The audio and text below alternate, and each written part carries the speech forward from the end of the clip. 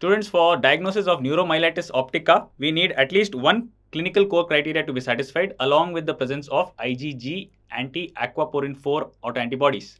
Now, what are the clinical core criteria? There are six of them. How you can remember them is, of course, neuromyelitis and optica. So there must be some spinal cord and some optic nerve involvement. So the myelitis here is longitudinally extensive transverse myelitis.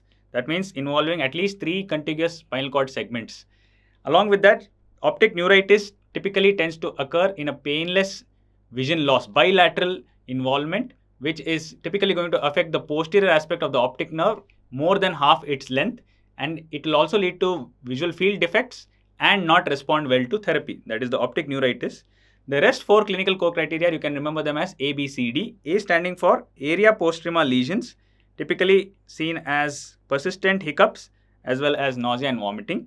B standing for acute brainstem syndrome, which may be in the form of third nerve palsy as well as corticospinal tract lesions. C stands for acute cerebral syndrome, which could be in the form of seizures or encephalopathy.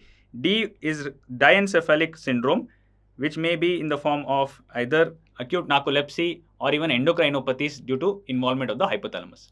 So these are the clinical core criteria for neuromyelitis optica.